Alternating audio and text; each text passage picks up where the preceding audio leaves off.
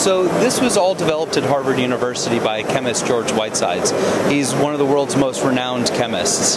And that's why the solution is so different. A roboticist would never make a robot out of rubbers and plastics because they're unpredictable. Roboticists like to build solutions where you have motors and metal and so you know when the robot moves forward where it's going. Rubbers and plastics being unpredictable would at first seem to be a problem, but actually in our application they're not.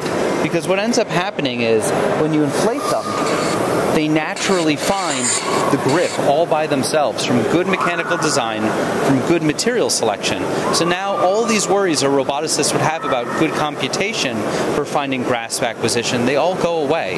We have open loop systems in order to be able to get complex grasp targets. Normally, if you're building adaptive robotic solutions, what you would have is a vision system, maybe a 3D vision system, an object library that it recognizes that those objects from, planning to figure out where on that object you should put your fingers, and then all this other software that figures how to get to the object.